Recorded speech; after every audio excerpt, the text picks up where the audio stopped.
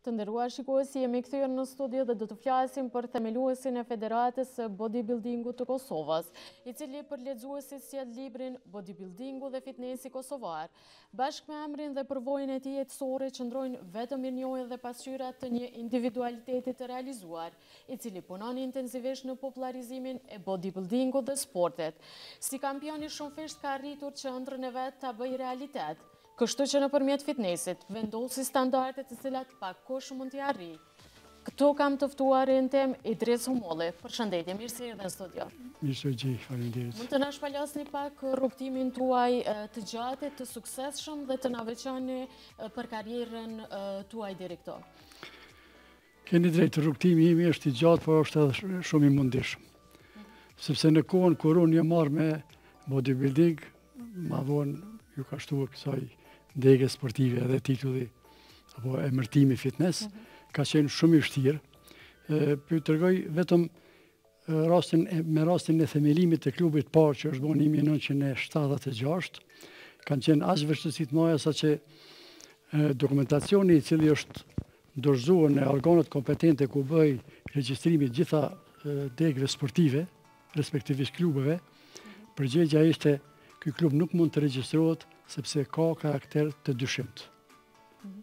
Dhe unë në atë kohë si i ri, as që kisha idenë se çka do të thonte ajo karakter të dyshimtë, kur kisha parasysh se ky ishte klub ekskluzivisht sportiv. Dhe problemet që aty kanë filluar dhe pastaj u është dashtë të presim Dikun edhe shtatëmbëdhjetë muaj për të regjistru klubin. Me fillimin e, e punës së klubit, pastaj u hapën ato shkëndijat e para për zhvillimin e këtij sporti edhe në vendet tjera.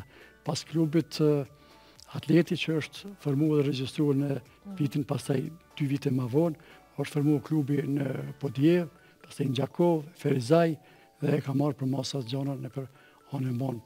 Kosovës, duke përfshirë edhe Preshevën, sepse shokët e mi dhe unë kemi bërë përpjekje, në fakt e kemi realizuar dëshirën që edhe në Preshevë të, të zhvillojmë në fakt të hapim një klub të bodybuildingut, i cili ishte i pari dhe i vetmi i këtij lloji. Ju jeni po ashtu edhe themeluesi i bodibildingut në Kosovë dhe kampion i shtatëfishtë. Sipas mendimit tuaj që të realizosh këtë përveç talentit, çfarë nevojitet tjetër? Po për të realizuar krejt këto nuk në fakt nuk duhet talent. Talent do të duhej në pjesën tjetër ku është pjesa fizike për zhvillimin dhe ndërtimin e trupit dhe muskulave në përgjithësi, ndërsa kjo është pjesë ma tepër pjesë intelektuale, e cila don vetëm punë, vullnet mhm. të madh, punë dhe angazhim permanent. Mhm. Pas një karriere të bujshme, ju keni themeluar edhe palestrën e parë dhe klubin e parë të bodybuildingut në Kosovë. Si ka qenë fillimi dhe çfarë emocionesh keni pasur në ato momente? Po, Praktikisht, unë paraprakisht ju tregova se palestra e parë domethënë është formue në vitin 76, mhm. dhe ai rrugëtimi ka qenë jashtëzakonisht i mundimshëm. Mhm. Praktikisht nuk kom fjalë me përshkru, sepse pengesat kanë qenë gjithandej. Pa mjete, se për në para asaj kohe, ne kemi ushtru në kushte shtëpie, me mjete aq primitive, saqë Sot ato as që kishim mund me marrë me mend. Për një karrierë të suksesshme përkrah talentit, mendoj se e keni patur edhe mbështetjen e miqve. A mund të na veçoni ndonjërin, apo disa që të kanë mbështetur në rrugëtimin tuaj spektakular?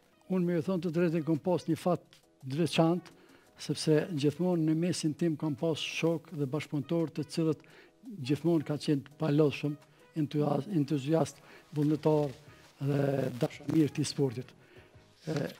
Këdo që do ta veçoja, unë do të gaboja shumë. Nëse i përmendi tash radhazi 10, 15, 20 apo 30, unë sigurisht mhm. do t'i hisha në hak dikujt, kështu që më lejeni që mos të përmend asnjë emën, sepse çdonjëri në kohën e vet Ka dhonë maksimumin, ka dhonë punën, angazhimin mhm. për zhvillimin dhe afirmimin e këtij sporti, jo vetëm në Prishtinë, po edhe në mbarë Kosovën. Po pastaj kjo ka reflektu edhe në Shqipëri, ajo është një mhm. temë tjetër. Po ndalem pak edhe tek librat. Tregona sa libra ke të botuara edhe pak për librin Rrugëtimi prej kampioni. Unë deri me tani kom botuar tri libra. Libri i parë është botuar në vitin 1986, libri i dytë në vitin 1993, dhe libri që i kemi këtu përballë është dalë nga shtypi para 5-6 ditë, promovimi ka qenë të premten e kaluar, domethënë me datën 29 mars, dhe përveç tyne kom shkrujt ndoshta 100-150, as vetë nuk e di sa shkrime nëpër gazeta të ndryshme, ditore apo javore. Po ashtu krahas fitnesit dhe angazhimeve të tjera njiheni edhe si autor i librave të parë, por edhe i shkrimeve tuaja kushtuar fitnesit. A kanë arritur efektin e vet në edukimin e brezave të rinj për këtë sport tashmë shumë të popullarizuar? Për me ilustrue sa ka arrit efektin librat e mi, unë po ju them vetëm efektin e librit të parë të bodybuildingut të shkruar në gjuhën shqipe në gjithat të vetëmit dhe të parit, i cili çfarë efekti ka pas. Në vitet 80-ta, libri ka shkue përmes një shoku tem gazetarit mirënjohur sportiv Gani Kosumit në Shqipëri. Mhm. Dhe ka qenë vetëm një kopje, një kopje që ka përfundu në bibliotekë kombëtare të Tironës. Dhe aty disa shokë të cilët ma vonë kom pas rast t'i njof, e kanë marrë, e kanë fotokopju disa, disa edhe e kanë përshkrue, Mhm. Dhe në promovimin e librit që e ceka pak më parë të premten kanë qenë kampioni i parë i Shqipërisë dhe trajneri i parë i Shqipërisë.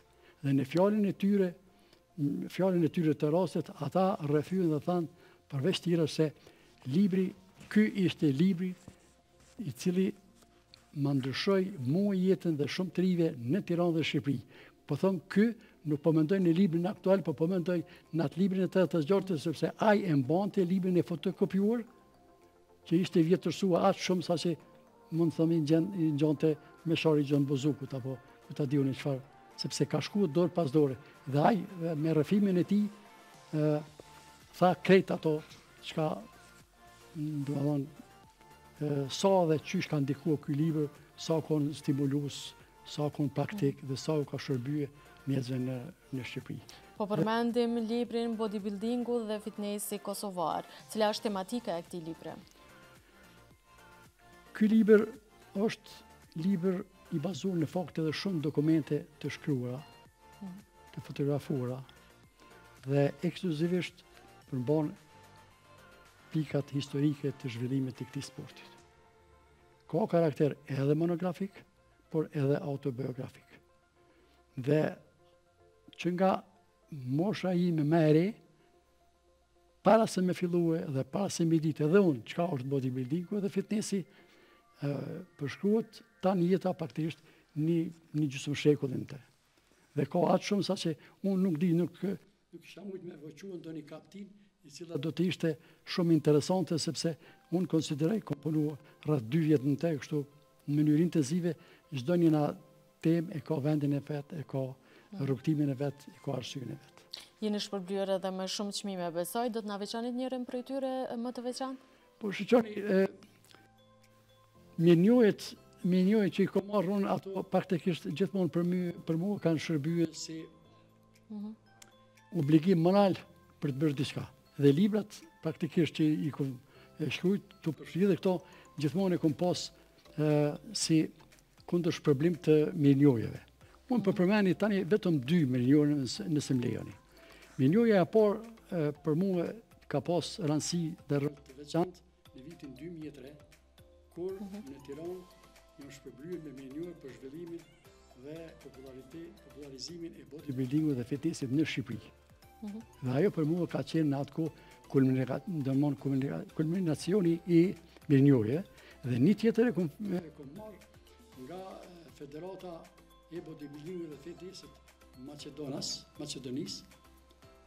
Që për mua ka qenë një surprizë jashtëzakonisht e madhe dhe ajo ishte mirënjohje dhe medalje e artë për zhvillimin dhe afirmimin e bodybuildingut në Ballkan për jetë të shëndetshme dhe jetë të shëndetshme për më tepër se 30 vjet.